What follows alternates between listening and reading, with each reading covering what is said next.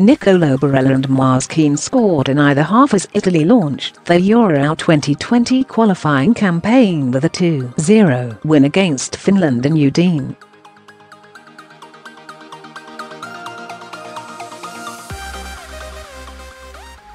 Chelsea target Barella gave Italy a flying start at the Friuli Stadium by opening the scoring in the 7th minute and Juventus winger Kean's effort in the second period sealed the victory.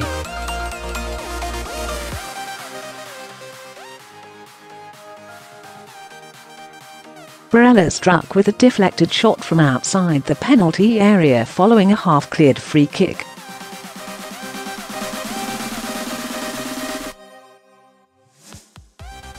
It was the Cagliari midfielder's first goal for his country.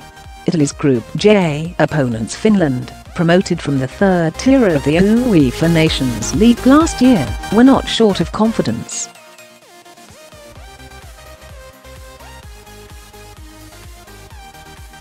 The Scandinavians rode the early storm and grew into the game, looking every bit as comfortable on the ball as their hosts.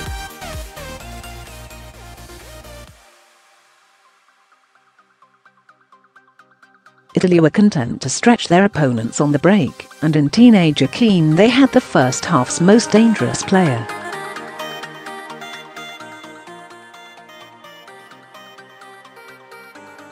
Kean set up Cristiano Piccini, who fired wide, while Federico Bernardeschi's effort from outside the area was off target.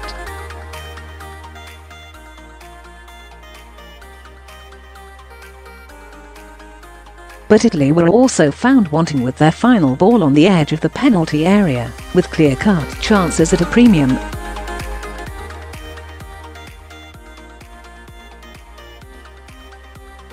Finland mustered the first effort on goal in the second period, when Norwich striker Teemu Pukki's shot was blocked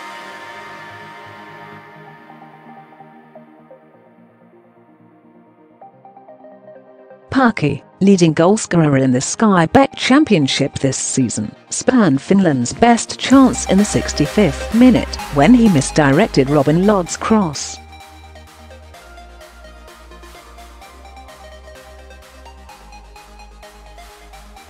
Finland continued to press for an equaliser with 20 minutes left, but Kean struck a second, decisive goal for Italy in the 74th minute.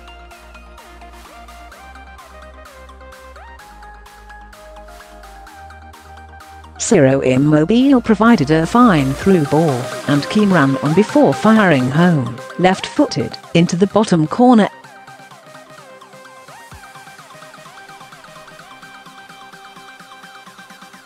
Italy had a strong penalty appeal waved away soon after when Kean appeared to be fouled by Sauli Väisänen and substitute Fabio Quagliarella's header was brilliantly saved by Lukas Hradecky.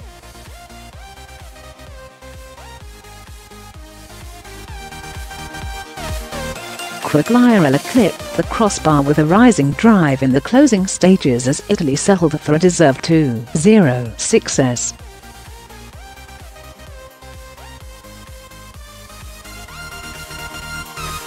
Italy will aim for back-to-back -back wins when they play Liechtenstein in Parma on Tuesday, while Finland play in Armenia on the same day.